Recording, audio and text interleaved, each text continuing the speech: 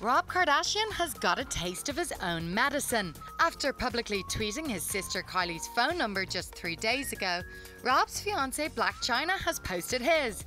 Chyna kept it simple, posting Rob Kardashian number, followed by his digits, to her 674,000 followers. Later on Snapchat, she explained the tweet as Rob stood right next to her.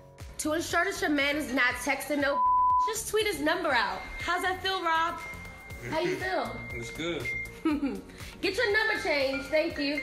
Since all these females want to keep texting his phone because they had his number before, talking about you good, you and Chyna good. No, we good, we good, we good, we straight. All right. There's been plenty of breakup rumours doing the rounds in the past couple of days, but Chyna's Snapchats prove that while things aren't exactly drama free right now, the pair are very much still together.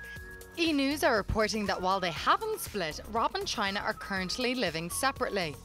Their recently launched reality show has apparently become a source of conflict for the pair, with insiders revealing that Rob is uncomfortable being in the spotlight, while Chyna is said to be lapping up the attention. Kylie, meanwhile, has remained silent about her feud with Rob, but did make a big announcement on her Instagram late last night. She revealed that she's launching another lip kit, a new shade called Smile. The reality star will donate all of the proceeds from the new product to Smile Train, who support cleft surgery for children in the developing world.